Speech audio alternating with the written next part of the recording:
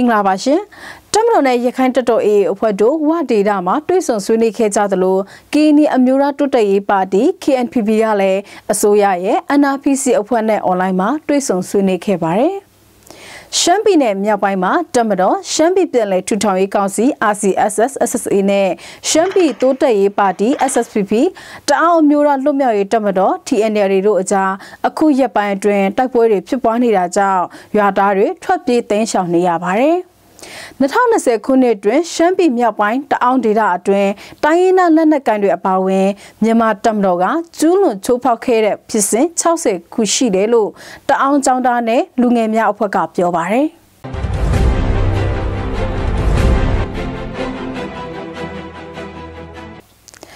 တော်နဲ့လက်နက်ကန်အဖွဲ့တို့တွဲဆုံမှုတွေရှိနေပြီးအစိုးရဘက်ကတွဲဆုံဆွေးနွေးဖို့ကန့်လန့်ချက်ပေါ်မူတည်ပြီးမြောက်ပိုင်းမဟာမိတ်အဖွဲ့နဲ့အစိုးရတို့အကြားတွဲဆုံဆွေးနွေးမှုမှာအချိန်မီဖြစ်လာနိုင်တယ်လို့ကချင်ငင်းချဲရဲ့အကျိုးတော်ဆောင်အဖွဲ့ကပြောပါရယ်။ ဒီဇင်ဘာလ9ရက်နေ့ကဝါဘီတွေးစည်းညွညွရေးပါတီ UWSP ဌာနချုပ်ပန်ဆိုင်မှာရခိုင်တပ်တော် AA နဲ့တပ်မတော်တို့အကြားတွဲဆုံမှုရှိခဲ့ပါတယ်။ဒီဇင်ဘာလ9ရက်နေ့ကလည်း KNI အမျိုးသားတွတ်တရေးပါတီ KNPP နဲ့အစိုးရတို့အွန်လိုင်းကနေတွဲဆုံခဲ့ပါတယ်။မြောက်ပိုင်းမဟာမိတ်တပ်ဖွဲ့နဲ့လည်းတွဲဆုံဆွေးနွေးမှုတွေဖြစ်လာနိုင်တယ်လို့ကချင်ငင်းချရဲ့အကျိုးတော်ဆောင်အဖွဲ့ PCG ကဦးလမိုင်းခွန်ကြားကပြောပါတယ်။ ဒီဇင်ဘာလလဆန်းပိုင်းမှာလည်းတမတော်နဲ့အစိုးရတို့နေပြည်တော်ရှိအမျိုးသားပြည်လဲတက်မြက်ရေးနဲ့ငင်းချင်းရေးဗဟိုဌာနချုပ် NRPC မှာကျင်းပပြုလုပ်တဲ့ငင်းချင်းရေးလုပ်ငန်းစဉ်လုပ်ငန်းညှိနှိုင်းရေးအစည်းအဝေးမှာ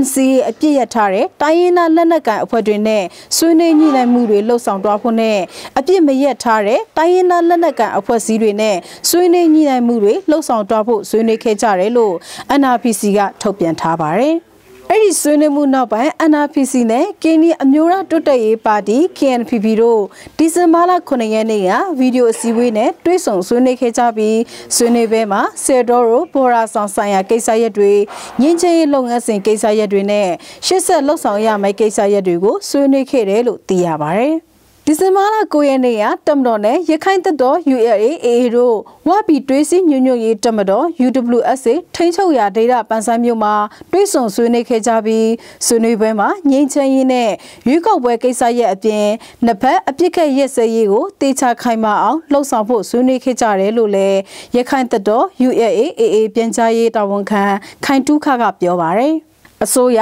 တမတော်တို့နဲ့ bilateral အပြည့်ရဲ့စာချုပ်ချုပ်ဆိုနိုင်ရင်ညှိနှိုင်းနေကြတဲ့မြောက်ပိုင်းမဟာမိတ်လေးဖွဲ့ကတော့ကချင်လွတ်လပ်ရေးအဖွဲ့ KNO KNA ရခိုင်တပ်တော် ULA AA မြန်မာမျိုးသားများဒီမိုကရက်တစ်မဟာမိတ်တမတော် MNDAA ကိုကအဖွဲ့တအောင်မျိုးသားလူမျိုးရေးတမတော် PSLF TNL တို့ဖြစ်ကြပါတယ် ရှမ်းပြည်နယ်မြောက်ပိုင်းနမတူမြို့နယ်အတွင်းတမတော်ရှမ်းပြည်ပြည်လဲထူထောင်ရေးကောင်စီ RCSS SSA တို့နဲ့ရှမ်းပြည်တိုးတက်ရေးပါတီ SSPP တအောင်းအမျိုးသားလွတ်မြောက်ရေးတမတော် TNL တို့အကြားအခုရက်ပိုင်းအတွင်းဖြစ်ပွားနေတဲ့တိုက်ပွဲတွေကြောင့်ဒေသခံ၄ယောက်ထိခိုက်ဒဏ်ရာရရှိပြီးလူဦးရေနေရာကျော်စစ်ပေးသိမ်းရှောင်နေကြရတယ်လို့ဒေသခံတွေကပြောပါတယ်။ ဒီဇင်ဘာလ10ရက်နေ့ညနေကနတ်မတူမြို့နယ်နာဆိုင်ကျေးရွာအုပ်စုထဲက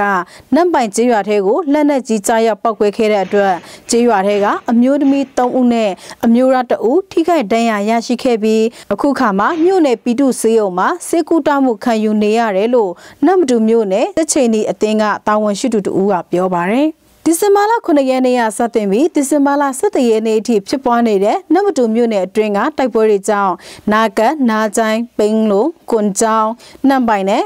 ပိန်ထွန်းကျေးရွာတွေကဒေသခံပြည်သူနေရာကျော်ကမန်ဆန်တိုက်နဲ့မန်ဆန်ကျေးရွာတွေကစကဝါရှမ်းဘုံတော်ကြီးကျောင်းမှာစစ်ပေးတင်းရှောင်နေကြရပါတယ်။ PSRF TNL တွေတည်င်းနေပြန်ကြားရေးတာဝန်ခံပုံမှုမိုင်းအကျော်က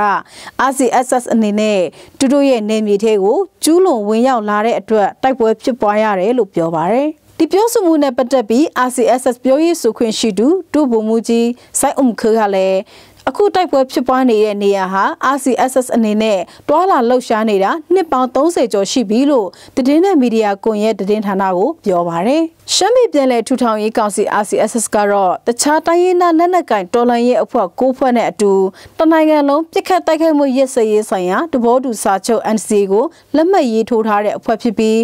TNL နဲ့ SSPP ကတော့မြောက်ပိုင်းတိုင်းရင်းသားလက်နက်ကင်တော်လှန်ရေးအဖွဲ့9ဖွဲ့နဲ့ဖွဲ့စည်းထားတဲ့ပြည်ထောင်စုနိုင်ငံရေးဆွေနွေးညှိနှိုင်းရေးကော်မတီ FPNCC ရဲ့အဖွဲ့ဝင်တွေဖြစ်ပါတယ်။2020ခုနှစ်တွင်ရှမ်းပြည်နယ်မြောက်ပိုင်းတအောင်းဒေသအတွင်းမြန်မာတပ်မတော်ကကျူးလွန်ချိုးဖောက်ခဲ့တဲ့ဖြစ်စဉ်60ခုရှိခဲ့တယ်လို့တအောင်းចောင်းသားနဲ့လူငယ်များအဖွဲ့ကပြောပါရယ်။တအောင်းဒေသအတွင်းကလူအခွင့်အရေးချိုးဖောက်မှုတွေကိုရပ်တန့်ပေးဖို့နင့်နာတူတွေအတွက်တရားမျှတမှုရရှိရေးဆောင်ရွက်ပေးဖို့နဲ့ကျူးလွန်သူတွေကိုထိရောက်စွာအရေးယူပေးဖို့တ အောင်ចောင်းသားနဲ့လူငယ်များအဖွဲ့ TSYU ကဒီဇင်ဘာလ10ရက်နေ့ကကြာရောက်တဲ့အပြည်ပြည်ဆိုင်ရာလူအခွင့်အရေးနေ့မှာတောင်းဆိုလိုက်ပါတယ်။ ကိုဗစ် 19 ကပ်ရောဂါဖြစ်ပွားနေတဲ့ကာလအတွင်းလူအခွင့်အရေးချိုးဖောက်မှုတွေဟာပုံမှုများပြားလာနေပြီးအခုနှစ်အတွင်းမိုင်းနဲ့လက်နက်ကြီးပောက်ကွဲမှုဖြစ်စဉ်22ခုချိုးဖောက်ခံရသူ42ဦးတပ်ဖြတ်ခံရခြင်းဖြစ်စဉ်15ခု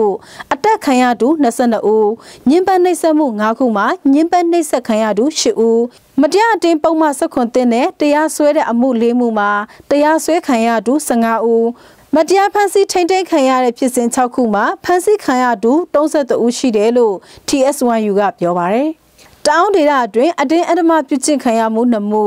ကြေးရွာအတွင်းစက်ကြေးကောက်ခံခြင်းပစ္စည်းများဝင်ရောက်ငွေနှောက်ခြင်းလူတစ်ဆုဆောင်ခံရခြင်းတွေလည်းရှိခဲ့တယ်လို့ TSYU အထွေထွေအတွင်းရေးမှူးလွေလျာရုံးကပြောပါတယ်။ TSYU ကမီဒီလက်နက်ကန်အဖွဲ့အစည်းဖြစ်စေအပြစ်မဲ့ပြည်သူတွေအပေါ်လူအခွင့်အရေးချိုးဖောက်မှုတွေမလုပ်ဖို့အပြစ်ကျူးလွန်သူတွေကိုအပြစ်ပေးဖို့အစိုးရအနေနဲ့တဘောတူလက်မှတ်ရေးထိုးထားတဲ့စာချုပ်စာတမ်းတွေကိုလေးစားလိုက်နာအကောင့်ထဲပေါ်ဖို့တောင်းဆိုထားပါတယ်။ဒါအပြင်အမျိုးသားလူအခွင့်အရေးကော်မရှင်ထံတိုင်ကြားထားတဲ့ဖြစ်စဉ်တွေကိုလည်းစုံစမ်းစစ်ဆေးအရေးယူပေးဖို့ ပြည်သူတွေအပေါ်မတရားတဲ့ဥပဒေတွေကိုဖျက်သိမ်းပေးဖို့အချက်တွေအပါအဝင်တိုင်းရင်းသားဒေသတွေမှာအနိုင်ရထားတဲ့လူတော်ကိုယ်စားလှယ်တွေအနေနဲ့လည်းဒေသအတွင်းဖြစ်ပွားနေတဲ့လူအခွင့်အရေးချိုးဖောက်မှုတွေနဲ့ပတ်သက်ပြီးတရားမျှတမှုရရှိရေးလှုံ့ဆော်ပေးဖို့လည်းတောင်းဆိုထားပါတယ်။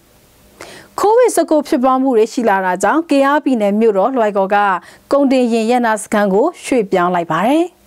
ကုန်းတာကျေးရွာအုပ်စုဝါရီကောခုကျေးရွာအတွင်းရှိအထက်ကခွဲချောင်းဝင်းထဲကယာယီကုန်းတင်ရင်ရက်နာစခန်းကိုဒေသခံတွေရဲ့တောင်းဆိုချက်ကြောင့်ဒီဇင်ဘာလ3ရက်နေ့မှာလွယ်ကော်သစ်စစ်စီကိုပြောင်းရွှေ့လိုက်တာဖြစ်ပါတယ်။ ရန်ရီကုံတင်ရင်ရနာစခန်းမှာရင်မောင်းနဲ့ရင်နောက်လိုက်တချို့မှာခိုးဝေယောဂပိုးစစ်ဆေးတွေ့ရှိခဲ့တာကြောင့်ဒေတာခန်တွေရဲ့စာထုတ်ပြန်ပြီးရွှေ့ပြောင်းပေးဖို့တောင်းဆိုခဲ့တာဖြစ်ပါတယ်။အခုလိုနေရာတက်မှာရွှေ့ပြောင်းလိုက်တာကြောင့်အစားတောက်အတွက်အဆင်မပြေမှုဖြစ်မှာကိုရင်မောင်းနဲ့ရင်နောက်လိုက်တချို့ကစိုးရိမ်နေပါတယ်။ဒီတဲ့င်းကိုကနရဝတီ time တဲ့ဌာနကပေးပို့ထားတာဖြစ်ပါတယ်။ ရှမ်းပြည်နယ်တောင်ကြီးမြို့မြို့မဈေးကြီးကိုကိုဗစ် 19 ရောဂါကူးစက်ခံရသူတွေကိုတွေ့ရှိပြီးနောက်ဈေးကိုစီပင်းတရားဌာနကယာယီပိတ်လိုက်ပါတယ်။တောင်ကြီးမြို့မြို့မဈေးကြီးကိုနိုဝင်ဘာလ30ရက်နေ့မိုးလယ်2နာရီခွဲလောက်ကစပြီးယာယီပိတ်လိုက်တာဖြစ်ပါတယ်။ဈေးကိုယာယီပိတ်ထားတာကြောင့်ဈေးကြီးရဲ့အတွင်းပြင်မှာဆိုင်ဖွင့်ပြီးဝမ်းရက်အတွက်ရှာဖွေစားတောက်နေကြသူတွေအဖို့အခက်ခဲနဲ့ရင်ဆိုင်ကြုံတွေ့နေရပါတယ်။ ရှမ်းပြည်တပီလုံးအနေနဲ့ကိုဗစ် 19 ရောဂါကူးစက်ခံရသူ900ကျော်ရှိပါတယ်။ဒီသတင်းကိုရှမ်းတန်တော်စင်သတင်းဌာနကပေးပို့ထားတာဖြစ်ပါတယ်။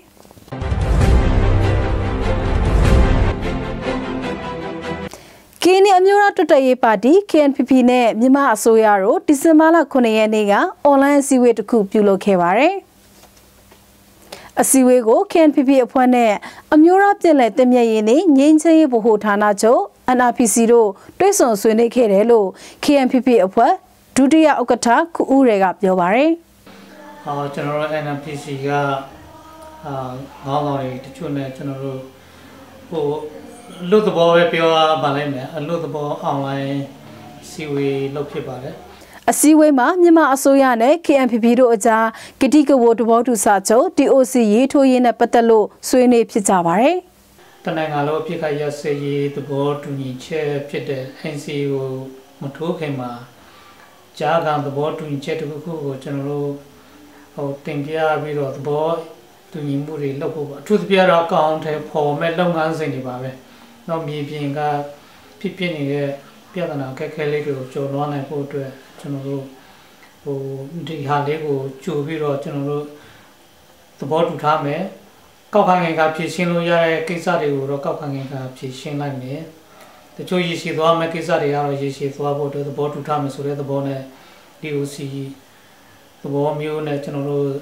အချက်ဆက်ရှိချက်ပါပါတယ် ဒီဇင်ဘာလအစောပိုင်းမှာလည်းတမတော်နဲ့ KNPP အကြားဆွေးနွေးမှုတွေရှိခဲ့တယ်လို့ KNPP ကပြောပါရယ်ဆွေးနွေးပွဲမှာထွေထွေထူးထူးဆွေးနွေးတာမျိုးမရှိခဲ့ပေမဲ့တမတော်ဘက်က KNPP ကိုတနိုင်ငံလုံးပြစ်ခတ်တက်ခတ်မှုရက်စရေးဆိုင်ရာတဘောတူစာချုပ် NCA ကိုလက်မှတ်ရေးထိုးဖို့တိုက်တွန်းခဲ့တယ်လို့ခူဦးတွေကပြောပါရယ်အော်တမတော်ကိုယ်စားလှယ်ကတော့ဒုတိယဗိုလ်ချုပ်ကြီးရာပြေဦးဆောင်တဲ့ကိုယ်စားလှယ်တွေနဲ့တော့ဒီလအစောပိုင်းကတည်းက ဟိုရန်ကုန်မှာကျွန်တော်တို့ကိုယ်စားလှယ်နှုတ်စေလို့ပြီးတော့လူချင်းတွေ့ပြီးပါပြီအထူးထွေရှင်နွေးတာ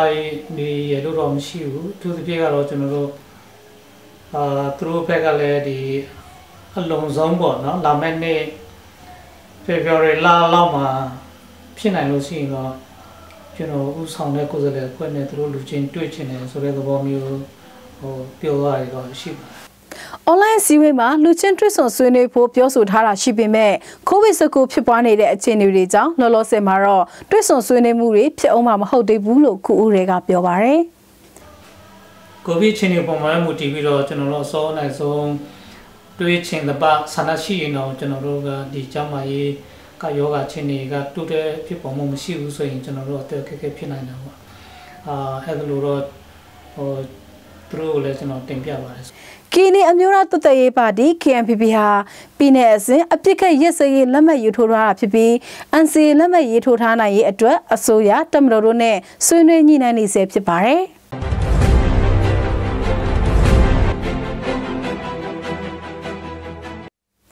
ကျမတို့ရဲ့ရုပ်သံအစီအစဉ်နဲ့ပတ်သက်ပြီးသတင်းအချက်လက်တဘောရာစစ်တမ်းကောက်ယူမှုစာဝေးလုပ်ငန်းစဉ်တစ်ခုကိုပြင်ဆင်ထားပါတယ်။ EATV ရဲ့တင်ဆက်မှုထုတ်လုပ်မှုအပိုင်းပုံမှုအားကောင်းစေဖို့ရည်ရွယ်တဲ့စမ်းစစ်ချက်ဖြစ်တဲ့အတွက်မိတ်ဆွေတွေအနေနဲ့အချိန်နဲ့ငယ်ယူပြီးမိကွန်းတွေကို QR code ဒါမှမဟုတ်အောက်က link ကိုဝင်ရောက်ဖြည့်ဆွတ်ပေးစီလိုပါတယ်။